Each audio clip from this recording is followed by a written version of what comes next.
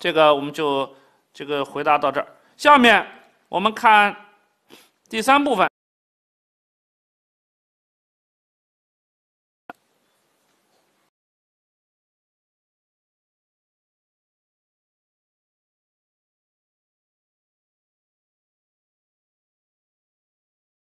今年年底依然是大题，是吧？你纵观三十二年的考研真题，这部分出大题，它的可能性是极高的。所以同学们送分给你啊，一定要要。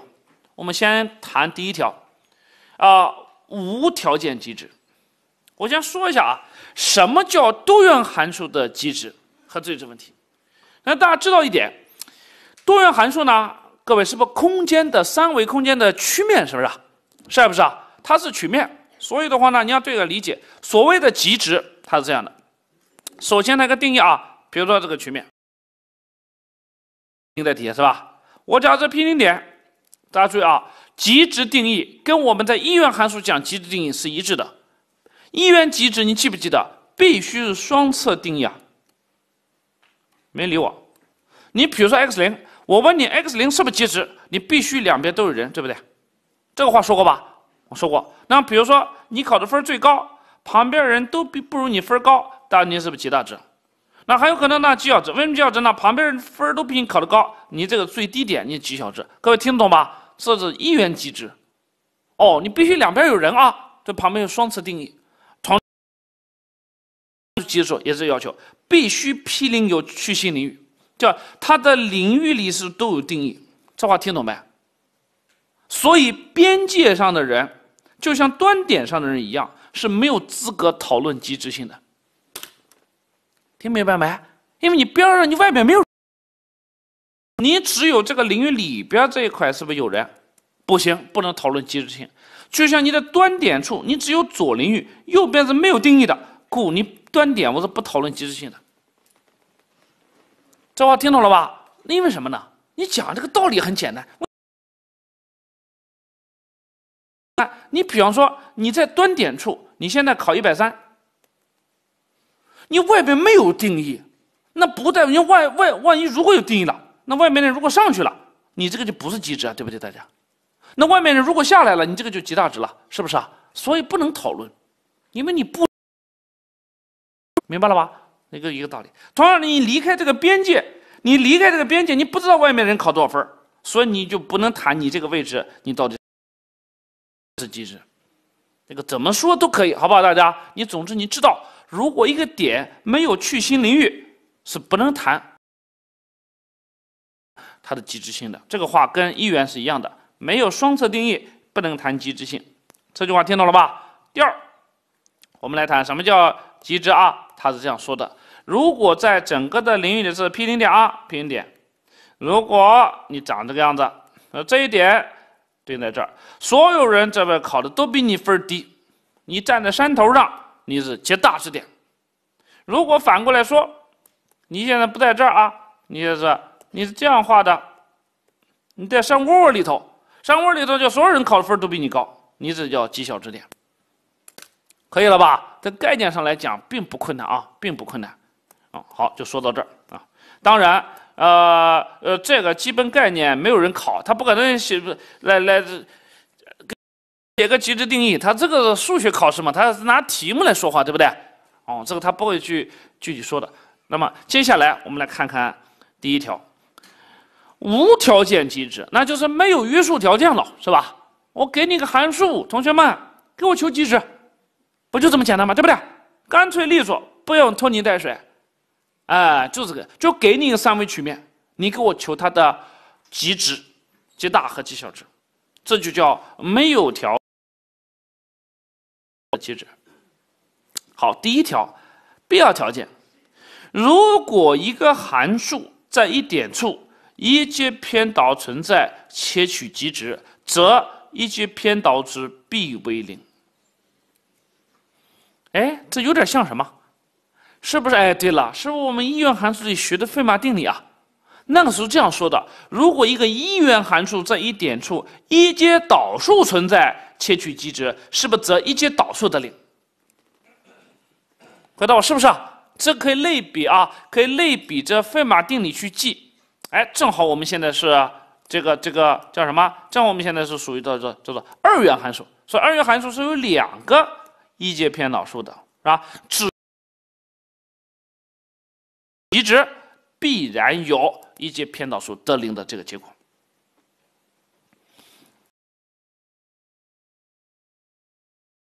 说了，这种题考的是计算题，所以在这个计算题的这个要求下，大家好好的把它背住就行。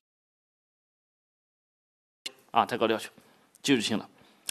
注，这个方法啊，适用于三元及以上的函数，不仅适用于二元，三元也能用。啊，所以考试你看我后面括号常考。二三四五，二元、三元、四元、五元都能考，啊，都能考。有人老师这咋考？考过吗？当然考过，一会儿你就知道了。当然考过的，当然是考过的。你比如说，我问你，三元函数你你会写不？要求什么？如果 f 这个是我们不写 x x y z u v w，如果是三元函数，在一个点，这 u 零 v 零。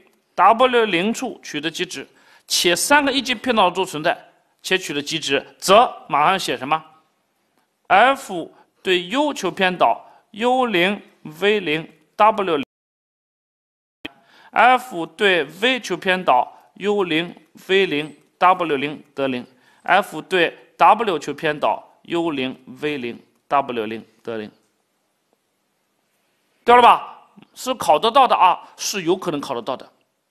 不是不是说考不到的啊，这是有可能要写的。总之你要记住，这个是适用于这个任何有限变量的方法，这叫必要条件。第二一条，充分条件。充分条件是什么呢？如果大家拿这个写，我问你，这是不是得俩方程？方程是不是组成方程组？同学们，这儿是不是可以求出呃 x 零 y 零？比如说我给你个函数啊，z f f x y，然后我求出 f x 一撇令其得零，f y 一撇令其得零。待会儿我会写这个解题步骤啊。等会儿说，大家想这里面是不是可以求出若干个点 P i？方程组的解嘛，是吧？哦，好，你拿出这些解来，它是不是极值呢？这个只是必要条件啊，不充分，是吧？那它不就是说这个条件不足以让你判别，是吧？它到底是不是极值，且是极大还是极小，对不对？判别不出来，那这时候怎么办呢？这时候用充分条件，就相当于说啊，你过了初试了，刚过初试，初试不代表你就录取了啊。好，来进复试，就把这些个点的话呢，Pi 带到这个表达式里去。好，我们来算了啊，算什么呢？算 f 两两阶导数对 x 的两阶导数，把这个点带进来，算出一个 a。然后呢，f x y 的两阶导数。把这个点带进来，算出一个 b，再算 f y 的两阶导数，把这个点带进来，算出一个 c。大家注意啊，这是解题程序啊，这种计算题没有逻辑性可言。算出 a、b、c 之后呢，用一个德尔塔，这是著名的叫德尔塔判别法。我们德尔塔等于什么呢？b 方减 ac。注意啊，是用中间这个 b 乘以平乘乘减 b 的平方。减去 a 乘 c，如果这个德尔塔算出来小于零，这个数小于零，立即推 b 为极值点，且如果这个 a 是大于零的，它是极小值点；如果 a 是小零的，它叫极大值点。如果这个德尔塔算出来大于零，立即推它不是极值点。如果这个德尔塔算出来得零，这个方法整个失效，这个方法就不能用了。另谋他法，那么什么什么法可以用定义法？你来算算看，画个图啊，或者用减法做差，看看你要求的那个点是不是这个区域上的啊最大值、极大值还是极小值？是不是？用定义法那个就比较简单了。所以到目前为止，第三类从未考过啊，它总会因为计算嘛，计算它总会给你算出是小零还是大零，对吧？而且这三十二年来，凡是计算题。它总要给出一个极大极小，是吧？所以它只考的全是小零啊。这就是说，呢，算的话呢，你得算出来。当然啊，它有复复杂情况，有讨论情况，这就有小零也有大零，对吧？但是等零的情况在大的计算题当中，计算题是吧？计算题这一段啊是充分判别法。那那那同学们告诉我，如果你求出两个点，各位这是不得求两组？因为每一组是不是都得用一次？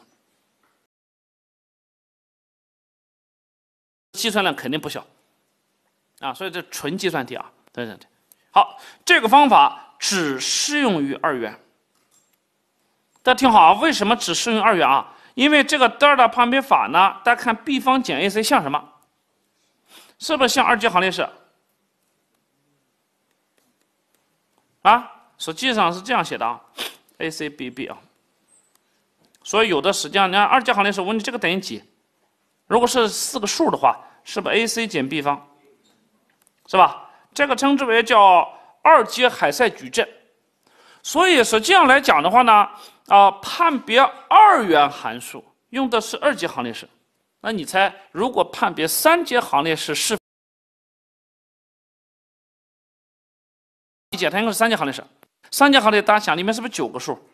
是不是九个三阶偏导数？因为这个 A、B、C 啊是三个二阶偏导数啊。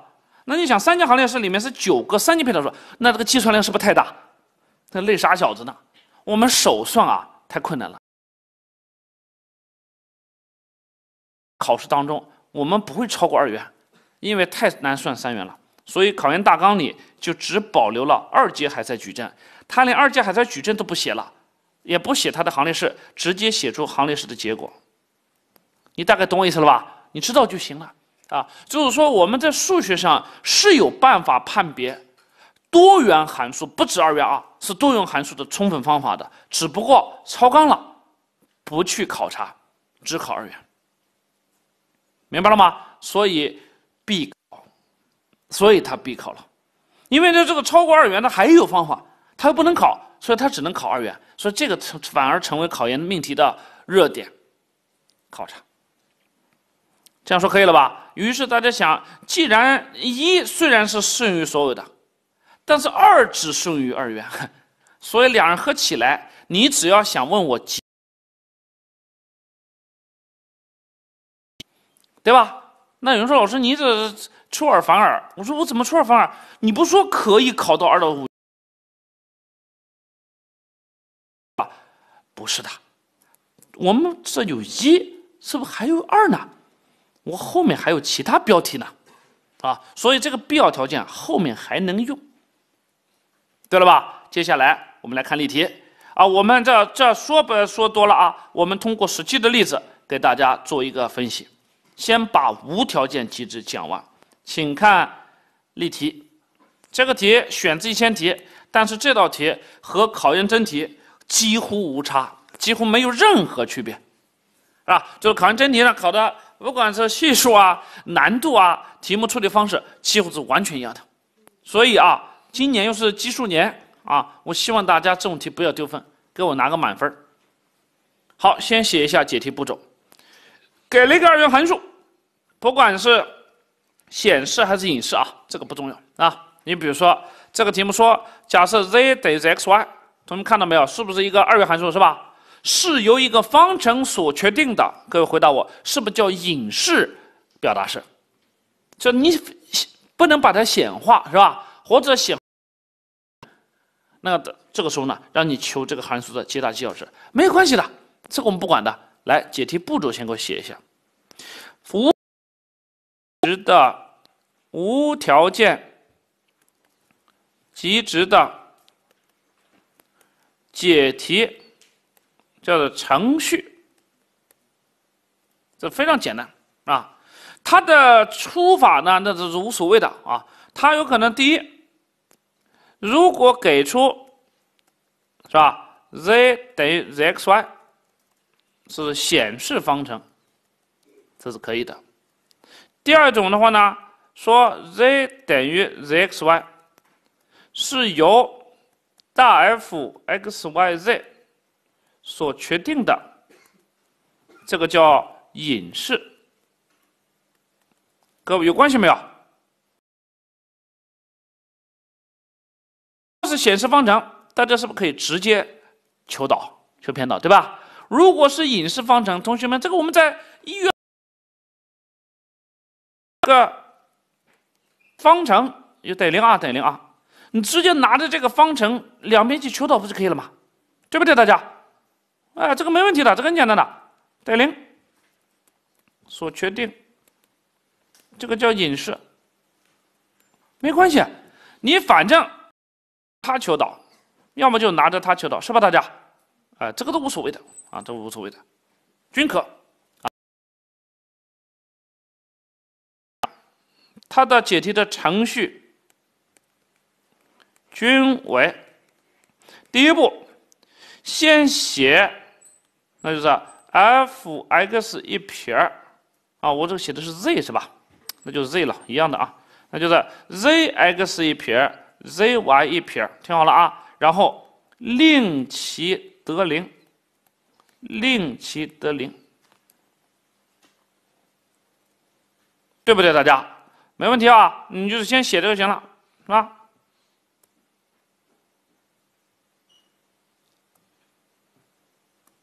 先写就可以了，是吧？就是就然后立即推，我就可以求出 Pi，i 等于一二到 n，我也根据这个方程，是不是解出 n 个点？这 n 个点叫。备选点，就初试过了的人，对吧？第二步，那么继续写，大家要计算 z 对 x 求两阶偏导数，z 对 x、y 求二阶混合偏导数，z 对 y 求二阶偏导数，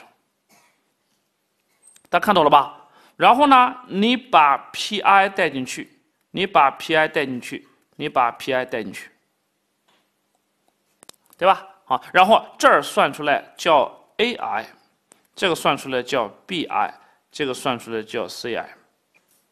别写错了啊！你对应着写，就是 x 的两极偏导数记得是大 A，是不是啊？x、y 的混合偏导数记得是大 B，y 的二阶，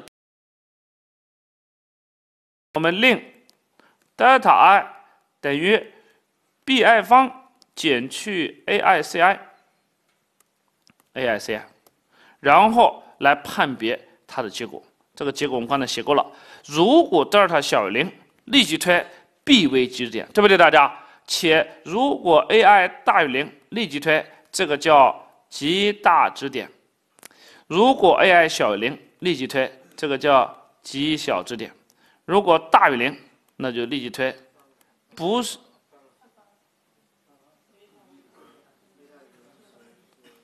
怎么了？什么情况？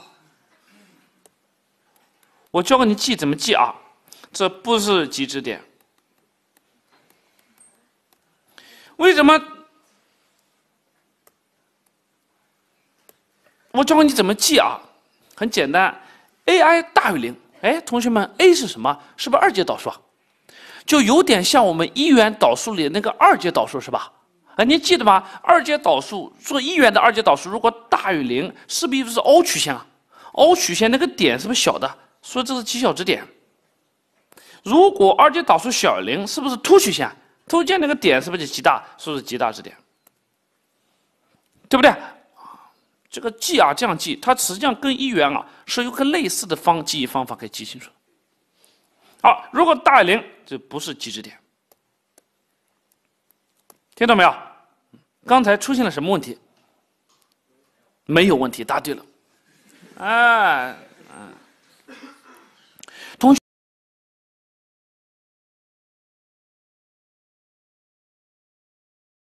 我说了啊，在计算题里不会有，它出成最多是概念题里啊，这个是这不会出问题的。这个程序记好了吧？好，下面开始做题。所以你只需要把握住这个呃整个的解题程序。这个题目就来了。好，下面我们把这个题目解一解。开始了啊，我们开始做题啊。我这个，我这个，这个，这个，对不对？好，我把题目再抄一遍。我这草稿纸写了，因为我这位置不够了。我题目再抄一遍啊，叫做 x 方，正好我抄呢，待会儿好写。减去六 xy 加上十倍的 y 方减去二 yz 再减去 z 方加上三十二等于零，是这个吧？好，开始了啊！第一步我们解了，第一步先写谁？z 对 x 求导吧，所以我们把它记成新式。新式两边对 x 求什么偏导，立即推，两边一起对 x 求偏导啊。那这样的话，二 x 减去 x 求导是不是叫六 y？哎，我问同学们，y 这时候是不是当常数看了？啊，因为你对 x 求偏导，呃，因为我这个叫叫叫什么呢？就是叫 z 等于 xy 的函数，是吧，大家？所以你对 x 求偏导的时候，那 y 当常数看。但是 z 可是 x 的函数啊，对不对？哦，啊，减去 y 加上十 y 方没有了吧？因为 y 方是常数啊，减去二 y 这常数，z 是不是对 x 求偏导？有了吧？有了啊！再减去，注意啊，z 方是不是符合求导了？z 方求导先写二 z，再乘以谁？z 对 x 求偏导，对不对？三十二常数求导得零，零的导数是零，看懂没？这个式子，对了吧？啊，稍微整理一下，我们就可以得到解。稍微整理一下，我们就得到了，那么就是二 x 减去六 y，那么这两个合起来是吧？减去二倍的 y 加上 z，z x 一撇得零，这是我们写的第一个。再拿新式对 y 求偏导数，对 y 求偏导，立即推。那么对 y 求导的话，拿着写啊，x 方求导是不得零？y 对 y 求偏导数一，这剩下负六 x，十个 y 方就变成了二十 y，是吧？大家，接下来是乘积导数了啊，是 y 乘以 z 是吧？所以减去二，y 对 y 求导是一，剩下 z，再减去二 y 不动，z 求导是不是 z y 一撇？没理我，帅不是？那接下来减去 z 方求导是负求导二 z，再乘以 z 对谁？y 求偏导，三十二求导是零，零求导是零，是不是得零？跟上没？急，整理一下啊，这里面是这是负六 x 加上二十个 y 减去二 z，大家看是不是后面两合并了？减去二倍的 y 加上 z 乘以 z 对 y 求导得零，对不对，大家？好，接下来，当你把这两个写完之后，大家现在写什么？告诉我，是不是令？哎，看这儿啊，解哎，我的步骤呢？呃，解题步骤写的很清楚啊，是不是这是不是要要令它俩为零？看到没有？令 z x 一撇 z y 一撇得零，因为你必要条件说，如果一阶偏导存在且取极值，它首先得满足一阶偏导得零，是不是大家？所以你按程序写就行了，你其他不用管，是不是令它得零啊？好，令其得零。所以这里面令它得零，令它得零，看到了吧？所以我们令 z x 一撇为零，z y 一撇为零，这样的话呢，这个式子就变立即推。大家看啊，这里面是不是这一项没有了？这零啊，所以剩下是不是二 x 减六 y 得零？也就是 x 减去三 y 得零，是不是？再来，你这块 z y 一撇得零先没有了，是不是剩这块了？把二约掉，是不是叫负三 x 加上十倍的 y 减去 z 等于零？不理我，对了吧？大家拿着它，是不是带回原方程？对不对？那带回新式啊，带回新式，因为你这样的话，是不是三个方程联立可以把 x y z 解出来了？跟上我速度，是不是？好，我们带回来啊，我把原方程抄一遍过来。你们不用抄，因为你你的笔记上是好看的，你看着就行了。我把它复制粘贴过来，我们把这三个方程放在这儿，你看是不是三个方程联立了？实际上是不是这？实际上是不是就这三个联立？是吧？大家好，带进去了，这样的话就可以推出来。然后带了，这很简单，大家可以先求 y 吧，因为这样的话，你们因为从这儿解出来，草稿纸啊，x，对不对？然后这 x 等于三 y 的话呢，z 也标出来了。那么 x 是三 y，那么负三 x 是不是负九 y？负九 y 加十个 y 是 y，是不是 z 等于 y？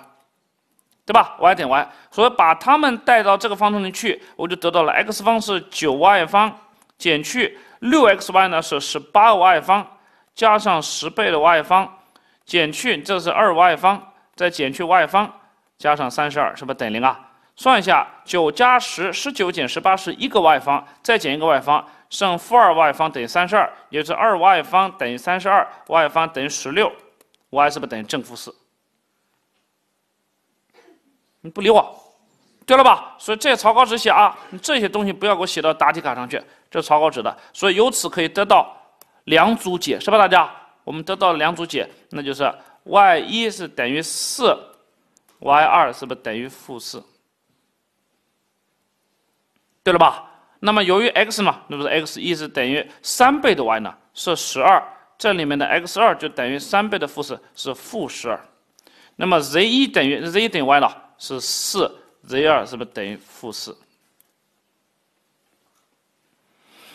不理我，看懂了没有？看懂了啊？看懂的话呢，这个是不是叫 P 一点？这是不是叫 P 二点？对吧？啊，呃，考研真题里面至少得能求出至少得两个啊，对吧？啊，但太多也不好，也就是两到三个是吧？你这考五个啊，这个太麻烦了，没出过啊，一般是两到三个。啊，一般以两个居多，但你要说求就求一个，这个也不会，这个太简单了，是吧？一个十分大题就求一个呢，这个实际上太显太少。好，第一步做完了，能听懂吧？这两个点叫什么点？备选点，这还不一定是呢。所以第二步，大家求什么？哎，对了，你要求的是三个二阶偏导数，再把它们带进去，明白了吧？好，下面开始继续来。啊，大家是不是现在的方程已经到这儿了？我现在写写给你啊，是不是用这个方程是吧？我复制粘贴啊，你看着这儿是不是用这个？继续求偏导啊，是这意思吧？你拿着这个方程放这儿，还一个呢，就这个方程啊。大家是不是这个方程？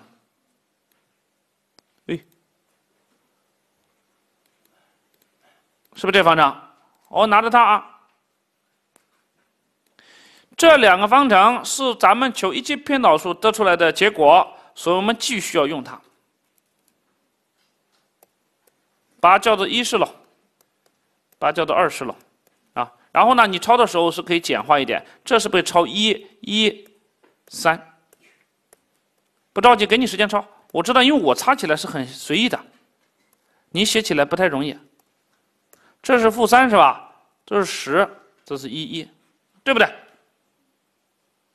好，抄一遍。在这个基础上，这是我们刚才啊经过求导已经得到的结果，已经得到的结果是这个。我们经过化简，各位是吧？在这个基础上，我们需要再进行求导，对一两边再求。x 的偏导数，对吧？立即推，那就来了啊。那么这两边再对 x 求偏导，大家看啊，x 求导是不是一？三 y 求导没有了，减去这是乘积的导数吧？前面求导 y 对 x 求导是零，然后 z 对求导是不是叫 z 对 x 求导？再乘以 z 对 x 求导不动，是这样吧？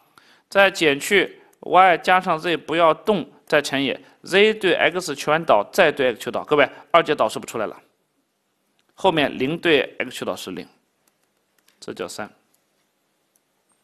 我这样说你听懂没有？啊，再对一的两边，再求谁？是不是再求 y 的偏导数？因为你这样求 y 的偏导数，是不是才会出现 z x y 两撇？对吧？再对 y 求偏导，看好这个方程啊。x 对 y 求导是零，所以负三 y 对 y 求导是负三。然后呢，下面是乘积导数了，减去括号前面求导，大家注意啊，前面求导 y 对 y 求导是不是叫一？加上 z 对 y 求偏导是吧？大家乘以后面的 z x 是不动的，再减去 y 加 z 不动，z 对 x 求偏导再对 y 求偏导是不是得零？这个叫四。你跟上了没有？跟上了啊！不要糊涂啊！每一个符号都给我搞清楚，不要糊涂。所以你看这种题，虽然说全计算是吧，但是你这这高度紧张的情况下容易做错的，所以不要紧张，啊？第二个，你得多做题啊，熟练。我写的对不对啊？对的啊。好，来还有一个对谁求导？啊，再对二是不是啊？因为你还得求 z y y 两撇吧，所以对二是两边再求 y 的偏导数。立即推，再求 y 的偏导数啊，就这个式子里对 y 求偏导，那么三 x 没有了，十 y 剩十。z 求导嘛，减去 z 对 y 求偏导是吧？再减去，这又是乘积的导数了啊。对 y 求导里面是一加上 z 对 y 求偏导，外面 z y 一撇是吧？再减去 y 加 z 不动乘以 z 对 y 的导数，再对 y 导数等于零，这个叫五式。我写你一个一个符号对，看懂没有？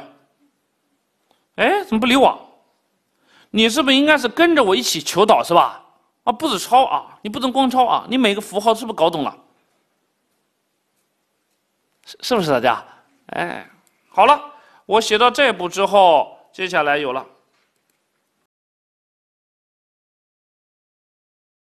答，这个我把这些这个无关紧要的词把它擦掉了啊。这是三，这是四，这是五。我问你，我要什么？是不是要那个三个二阶偏导数啊？是吧？但是你不要忘记了啊，必要条件是不是依然在？这里 z x 一撇 z y 一撇依然是什么？依然是不是零啊？因为你要知道，如果这个点是极值点的话，那么这个是不是首先得满足啊？这叫必要条件，对不对？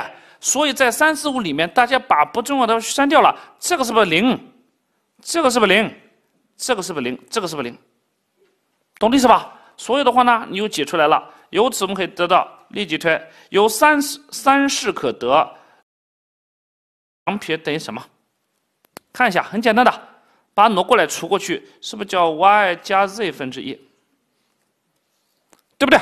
好，再看四式，四式里面的话呢，有这个没有了，所以这样的话呢，z x y 两撇是等于，把它挪过来除过来，是不是负三比上 y 加 z？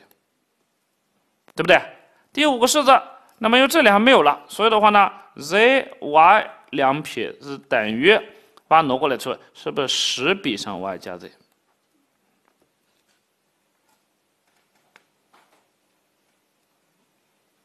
对了吧？哦，你这有了啊。好，接下来我们开始代值了。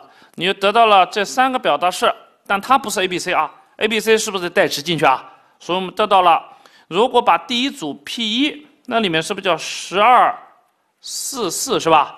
带进去，你这样的话会得到第一组数，a 一等于几？大家注意这里面代值啊，是这里没有 x 是吧？但不管它啊，这个是具体问题，具体分析是吧？是不是四加四是八？是不是个八分之一？没人理我，是吧？然后 b 一等于几？这是八分之负三，负八分之三，对吧？那么 c 一等于几？八分之十，八分之十实际上是多少？四分之五，对了吧？好，我们来算一下，德尔塔一等于 b 一方减 a 一 c 一等于几？来算一下，等于几？它便等于 b 方嘛，是八负八分三平方是六十四分之九是吧？减去俩底下相乘。四八三十二，三十二分之五，也就是六十四分之十，是不是等于负六十四分之一？是不是小于零？当小零的时候，立即推 b 为极值点，对不对？且一定要记住啊，不要糊涂。a 一是不是等于八分之一？是不是大于零啊？你想啊，大于零，二阶导数大于零，是不是叫凹曲线？是不是极小值？立即推 p 一是极小，对吧？极小的话，那不要写 p 是极小啊，应该是什么极小值？谁是极小？这个符号啊，你写的时候要稍微注意点啊，写的时候稍微注意点，它不叫 p 一极小，它应该叫什么？哎，对了，就是这个，这是 x y z 的坐标是吧？所以说这个是极小值点，看到没有？就是极小，这就是这叫做十二四为极小值点，对不对，大家？那么 z 等于几？四是吧？听懂没？啊，它不是等于 z x y 嘛？十二四，听懂意思吧？是这个东西。啊，四为极小值，对了吧？你不理我，对不对？这要写清楚啊，因为你带的点呢是三个点，但是你说话的时候要说清楚，人家毕竟确定的是 z 等于 zxy，这是二元函数是吧？所以极小值是 z 的取值啊，是这个四是 z 的极小值，极小点是指的前面两个数十二四，说清楚没？啊，说清楚了啊，那要记到这。同理，会写了吧？同理可得。P 二点，你 P 二点的话呢，是负十二、负四、负四，你往 A 二等于，你记得刚才那数吧？是不是叫 y 加 z 分之？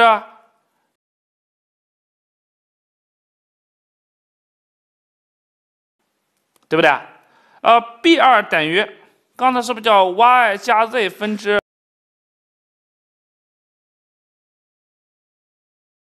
八分之三，C 二等于刚才是不是叫 y 加 z 分之十是吧？所以是负八分之十是负的四分之五，是这样吧？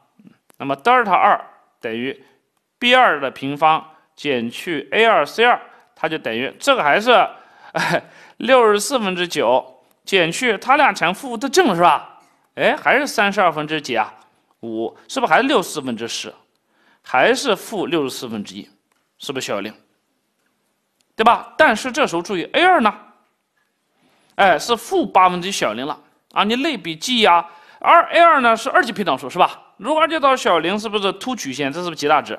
所以推出来，那么负十二、负四，注意这个点啊，是为极大点，叫极大值点。那么 z 等于几啊？负四是吧？负四，那等于 z 负十二、负四。这个是为什么？极大值是可以的，极大！这道题目跟考研真题几乎没有差别。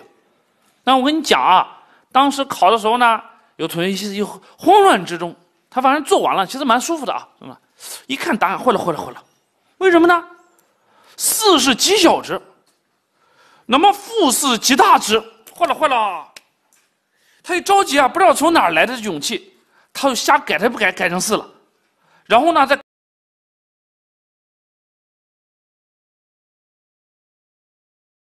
查的时候，突然发现了一个好像不合常理的事情，好像我说的好像不合常理啊。比如说在期末考试的时候交卷的时候，本来做对了。就看一眼别人的，或者别人说一句，或者自己突然脑子一懵，最后把答案改错了。这说明什么？哦，还是基本概念不扎实。那说明一点，就是说你还该错，好不好？对不对？啊，我就不想说那些词儿，那词儿不好听，啊，就活该，对不对？忠言逆耳啊！为什么说到这儿该错？你搞错，极值，各位，极是不是局部概念？对不对？极大值，我在我哪儿？我极小值、极大值，跟你又何干？我又不是比最值，是不是啊？我在我这个山头，我负四都是极大的，因为其他人都比我小啊。在你那个山头，四都是极小的，因为那位置你都大呀，是不是很好理解啊？它不需要去比较的，这才叫极值。听懂了没有？方法步骤搞懂没？你只要掌握这方法步骤，这个题没问题。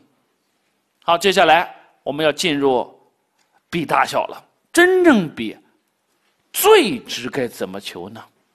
它又有什么样的复杂的步骤呢？我们下节课接。